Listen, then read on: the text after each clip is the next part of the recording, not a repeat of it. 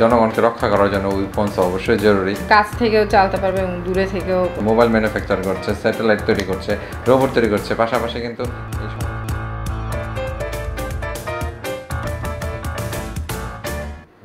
স্বাগতম সবাইকে। বিচ রিয়েকশনে আমরা চলে এলাম আজকে আপনাদের সঙ্গে আর একটি ভিডিও শেয়ার করার জন্য। আর আজকে আমরা একটি ভিডিও শেয়ার করব যে ভিডিওটি হচ্ছে মিলিটারি উইপন নিয়ে। ভিডিওটির টাইটেল হচ্ছে game changer for the military with the first made in India grenades. বুঝতে পারছ যে আগে হয়তো বা এই ধরনের গ্রেনেডসগুলো বাইরে থেকে নিয়ে আসতে হতো। এখন ইন্ডিয়া নিজে এই সমস্ত গ্রেনেডগুলো তৈরি করছে তাদের নিরাপত্তার জন্য। তো এই ভিডিওটি আমরা নিয়েছি ইউটিউব চ্যানেল ওয়ার্ল্ড অ্যাফেয়ার্স থেকে আর ওনাদের অরিজিনাল ভিডিওর লিঙ্কটা আমাদের ভিডিওর নিচে দেওয়া থাকবে চাইলে আপনারা সেখান থেকে অরিজিনাল ভিডিওটি দেখে নিতে পারেন তো চলুন সবাই মিলে ভিডিওটি দেখে আসি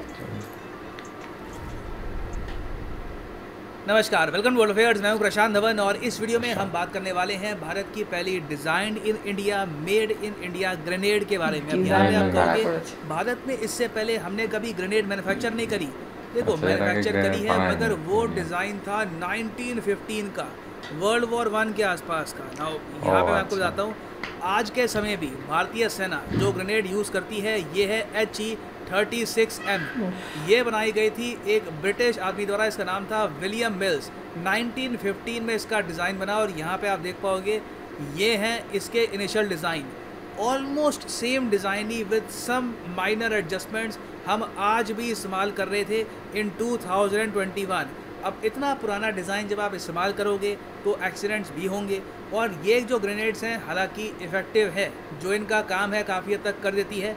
मगर ये काफ़ी हद तक अनसेफ भी है। बहुत बार देखा गया है कि हमारे जो होनहार जवान हैं ऑफिसर्स हैं जब ये ग्रेनेड फेंक रहे होते थे तब रास्ते में ही काफ़ी बार ये फट जाती थी और इससे सोल्जर और ऑफिसर को इंजरी भी आती थी। फॉर एग्जांपल यहाँ पे आप देखोगे 2020 का केस है। इंडियन आर्मी ऑफिसर इंजर हो गए। In an accidental grenade blast in Jammu Kashmir Poonch district और ये तो खैर एक केस है ऑलमोस्ट हर साल कई केस ऐसे आते थे और देख के खराब लगता था कि इतना ज़्यादा पुराना इक्विपमेंट हम यूज़ किए जा रहे हैं और आज भी हमारे देश ने नई ग्रेनेड डिज़ाइन नहीं करी। फाइनली ये सब चेंज किया डीआरडीओ और एक प्राइवेट कंपनी ने। नाउ डिस्कस करते हैं यहाँ पर नई ग्रेनेड कैसे काम करेगी। उससे पहले आपसे एक क्वेश्चन पूछूँगा।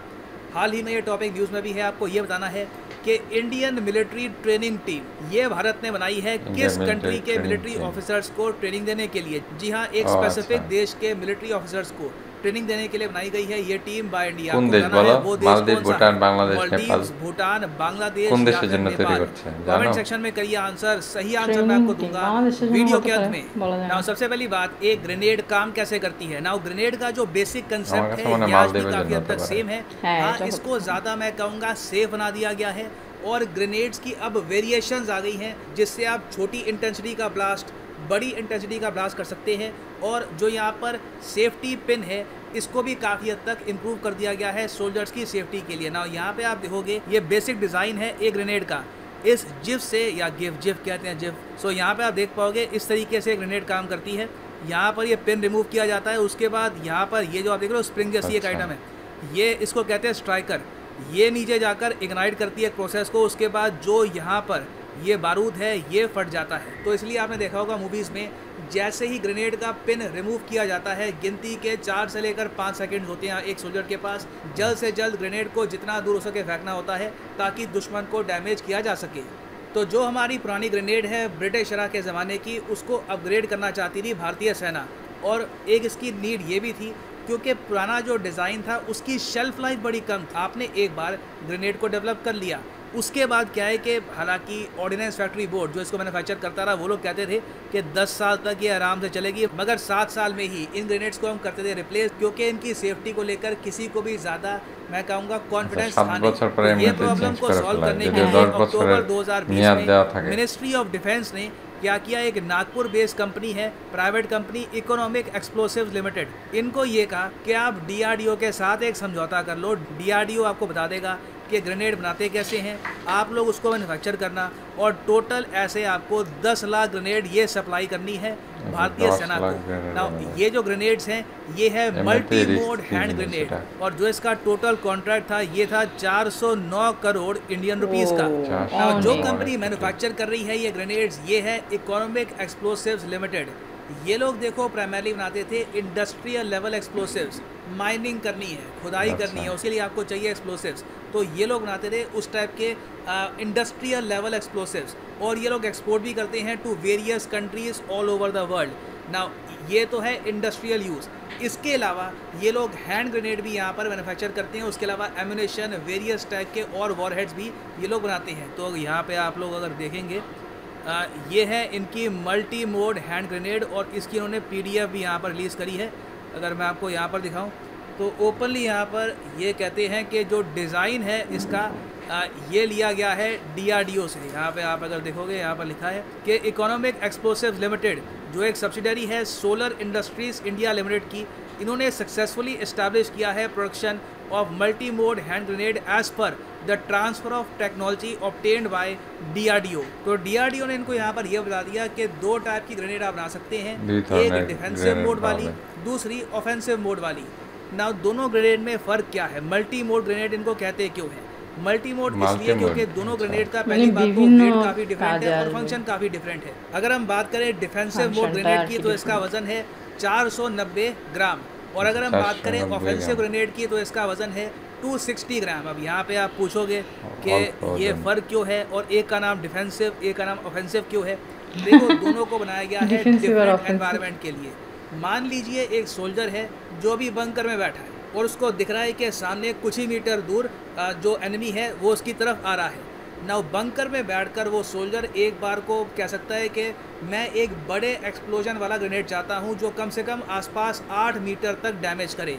तो ऐसे सिनेरियो में वो यूज़ करेगा डिफेंसिव मोड ग्रेनेड क्योंकि वो खुद काफ़ी हद तक एक डिफेंसिव मोड में है। ग्रेनेड अगर बड़ा धमाका भी करता है तो सिंस वो सोल्जर एक बंकर में है या फिर किसी सेफ़ जगह पे है तो उस पर इसका इम्पैक्ट होगा नहीं। तो ऐसे सिनेरियो में तो यूज़ होगा डिफेंसिव मोड अगर मान लो वो सोल्जर बैटल फ़ील्ड में है, बिल्कुल खुला इलाका है, कोई आसपास बंकर नहीं है और दुश्मन उसके सामने है और उसको यहाँ पर यूज़ करनी है ग्रेनेड तो ऐसे सिनेरियो में आप ऑब्वियसली मान के चल लीजिए वो एक ऐसी ग्रेनेड यूज़ करना चाहेगा जिसका इम्पैक्ट उस पर भी ना हो जाए।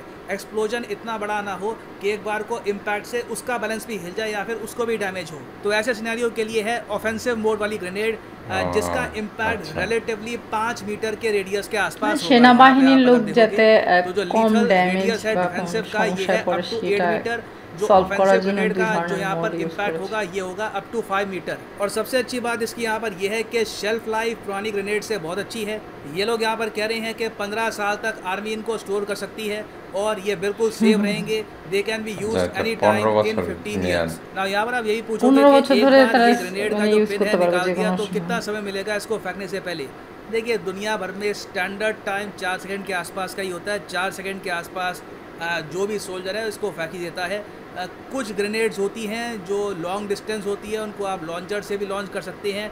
वो डिफरेंट सिनेरी होता है ऑल टुगेदर वो थोड़ा सा लेट एक्सप्लोड करती है मगर यहाँ पर लिखा गया है रफली फोर सेकेंड्स और क्या इस ग्रेनेड को हम एक्सपोर्ट कर सकते हैं? तो इसका आंसर है हाँ बिल्कुल। इंडोनेशिया एक देश है जो बहुत हद तक इंटरेस्टेड है इस डिज़ाइन में। पॉसिबिलिटी है कि बहुत ही जल्द इंडोनेशिया का जो ऑर्डर है ये भी हो जाएगा। यहाँ पर कंफर्म और एक बार इंडोनेशिया ने ये परचेज़ करना स्टार्ट कर दी ये वाली ग्रेनेड्स तो उसके बाद अफ्रीकन कंट्रीज़ बहुत सी ASEAN countries in the future ये सब देश मेड इन इंडिया जो ग्रेनेड्स हैं ये परचेज़ करना चाहेंगी।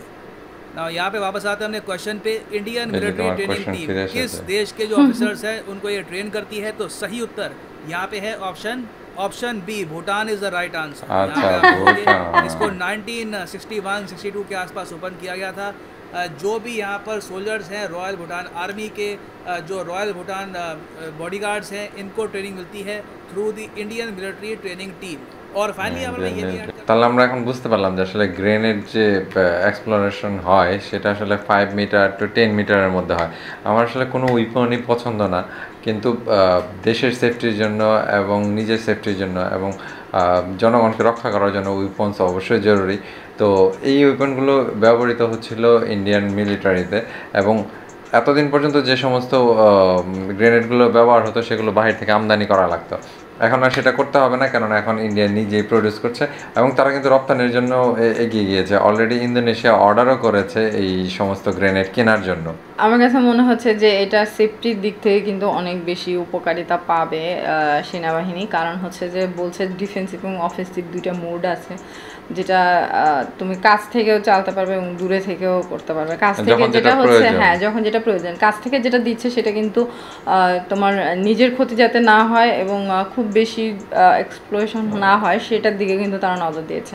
তো আমার কাছে মনে হয় যে এটাও আসলে দরকার আছে কারণ সেনাবাহিনী পুরো একটা দেশের সার্বভৌমত্ব রক্ষা করছে। তো তাদের কাছে যদি এটা না থাকে তো শত্রুপক্ষ যে কোনো সময় যে কোনো মুহূর্তে হামলা করতে পারে। তো সেক্ষেত্রে তাদেরকে অবশ্যই এই জিনিসগুলো তাদের কাছে থাকা উচিত এবং যাতে তারা সেফভাবে এটা ইউজ করতে পারে, সেই জিনিসের উপরে তারা কিন্তু প্রাধান্য দিয়েছে। আর আমার কাছে এটাই ভালো লেগেছে যে, না, তারা তাদের সৈনিকদের যে জিনিসগুলো ইউজ হচ্ছে সেটার উপরে প্রাধান্য দিচ্ছে। হ্যাঁ কেননা অলরেডি দুই হাজার বিশ সালে কিন্তু একটা অ্যাক্সিডেন্ট ঘটেছে, যেটা হচ্ছে এই পুরাতন গ্রেনেডের কারণে। কেননা, পুরাতন গ্রেনেডগুলোর মেয়াদ ছিল দশ বছর। তো দেখা যাচ্ছিল যে, এগুলো সাত বছর পরে আসলে সেফটি পারপাস এগুলোকে বাদ দিয়ে দেওয়া হতো এবং নতুন অ্যাড করা হতো। আর এখনকার যে গ্রেনেডগুলো ইন্ডিয়া উৎপাদন করছে সেগুলোর মেয়াদ হচ্ছে পনেরো বছর তো একটা বড় সময় পাওয়া যাচ্ছে। কেননা এই সবগুলো তো আসলে ব্যবহৃত হয় না সব কিছু আসলে সেফটি পারপাস এবং ডিফেন্সিভভাবে আসলে রাখা হয়। যদি কোনো হ্যাঁ। প্রয়োজন পড়ে তাহলে আসলে এই ধরনের গ্রেনেডগুলো ব্যবহার করা হবে। আর ইন্ডিয়া বিভিন্ন জায়গায় আর ইন্ডিয়া ম্যানুফ্যাকচারের দিক দিয়ে অনেক ডেভেলপমেন্ট করেছে। তারা ইলেকট্রনিক্স ডিভাইস যেমন ম্যানুফ্যাকচার করছে মোবাইল ম্যানুফ্যাকচার করছে স্যাটেলাইট তৈরি করছে রোবট তৈরি করছে। পাশাপাশি কিন্তু এই সমস্ত ডিফেন্সিভ উইপনগুলোও কিন্তু তারা তৈরি করছে। গ্রেনেড হচ্ছে তার মধ্যে একটি আর এই গ্রেনটা কিন্তু আরও বলল যে চার সেকেন্ড লাগে, খুব কম সময়ে করতে পারবে। আর চাবি যেটা দেখাল যে, চাবিটাও কিন্তু তুমি টানার সাথে সাথে যে এক্সপ্লোশনটা হয়, সেটাও কিন্তু খুব দ্রুতই হচ্ছে। হ্যাঁ চার সেকেন্ড সময় পাচ্ছে। তো যখনই এক্সপ্লোর করবে মিলিটারি পার্সন কিংবা যে কেউ তার সেফটির জন্য যখন এটা ইউজ করবে তখন সেটাকে তার পিনটা খুলে সেই রকম টাইম তাকে গুনতে হবে যে এই চার সেকেন্ডের মধ্যে কিন্তু তাকে নিরাপদ দূরত্বে চলে যেতে হবে। তো যাই হোক ভিডিওটি আমাদের ভালোই লেগেছে কারণ গ্রেনেড সম্পর্কে আমাদের আদতেও কোনো ধারণা ছিল না। এখান থেকে কিছু টুকটাক ধারণা নিয়েছে। যে কীভাবে কাজ করে।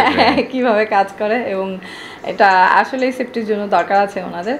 তো আজকে আমাদের ভিডিও রিয়েকশনটি যদি আপনাদের ভালো লেগে থাকে, তাহলে অবশ্যই একটা লাইক করবেন এবং কমেন্টস করে জানাবেন আমাদের সঙ্গে বসে আপনারা আর কি কি ধরনের ভিডিও দেখতে চান। তো আপনারা সবাই ভালো থাকবেন, সুস্থ থাকবেন, সাবধানে থাকবেন। দেখা হচ্ছে পরবর্তী ভিডিওতে আজকের মতো এখানেই বিদায়।